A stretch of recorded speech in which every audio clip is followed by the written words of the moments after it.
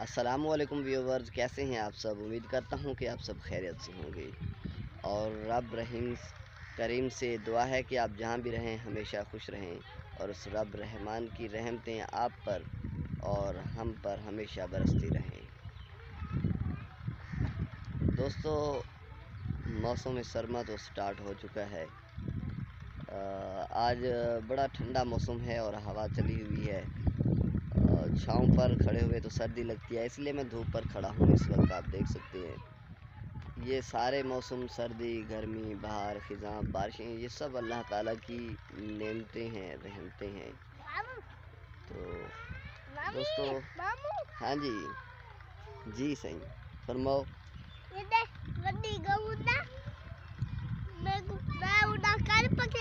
छोटी अच्छा। ये अब्दुल अहद है मेरा भांजा है ये मेरी तवज्जो ले रहा था ताकि ये भी वीडियो में आए। या क्या बता रहे थे?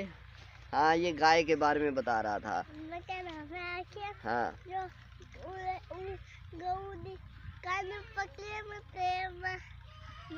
गऊ दा कान पकड़ी थे वाला क्या थे? अब जानिए देखो।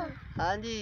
देखो पूरा झूले अच्छा मैं अहमदाबाद अच्छा मैं अहमदाबाद में देखना। ये बच्चे खेल रहे हैं और ये अब्दुल अहद आया है नई गाय आई है नया मेहमान आया है हमारे घर में और कहता है कि उसका कान पकड़ा है तो पता नहीं क्या हुआ फिर। तो चलिए मैं भी आ, मैं भी आपको दिखाता हूँ हमारे घर में जो नया मेहमान आया है नई गाय आई है। हाँ तो दोस्तों देखिए ये है आ, हमारी नई गाय। नई गाय हम लेके आए हैं। ये कल हमारे घर में आई है। आ, मेरे वालिद साहब गए थे रोही और रोही से लेके आए हैं इसे। नई गाय है और इसके साथ छोटा सा बच्चा भी है बेबी भी है। ये एक दिन का है। कल ही ये पैदा हुआ है सब सुबह जब अबू ने लिया था उसी वक्त ये पैदा हुआ है और फिर इसको भी साथ लेके आए हैं। ये गाय देखें कैसी है। बड़ी शरीफ गाय है। हाँ इसलिए अबू ने ली है। कुछ भी नहीं कहती है। वाह इतनी प्यारी गाय है। और ये कितना प्यारा सा बेबी है। हाँ बच्चे इसके साथ खेलते हैं। और जी लो जी। कान पकड़ी खड़ी कान पकड़ी खड़ी है ना बोला ये तेरा कान पकड़े से बना थी वैसे थे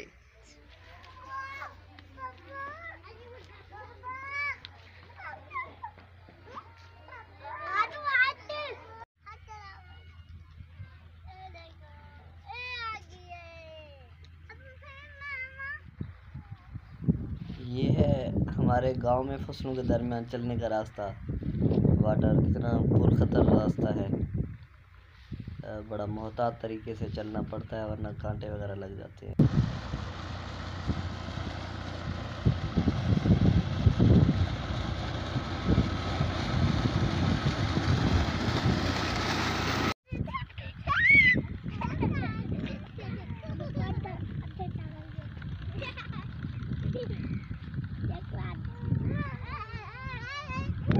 ये इधर कुछ सब्ज़ियाँ काश्त की हुई है।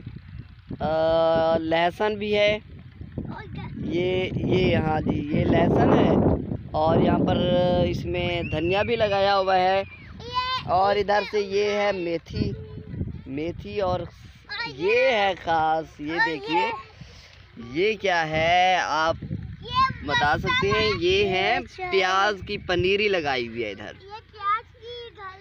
बस ये प्याज की पनीरी लगाई हुई है, अभी जो है ना थोड़ी सी ये और बड़ी हो जाए फिर इसको इधर से निकाल के फिर हम प्याज लगाएँगे। और ये बकरियों और गाय के लिए घास काश्त किया हुआ है। सरसों का घास, इसमें से साग भी बनेगा। और उधर से जो आपको नज़र आ रहा है, साथ ही गंदम।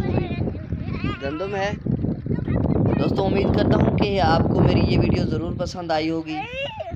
अब मैं वीडियो का अख्ताम करता हूँ, ज़िंदगी रही तो इन नेक्स्ट वीडियो में फिर से मुलाकात होगी। अस्सलाम वालेकुम।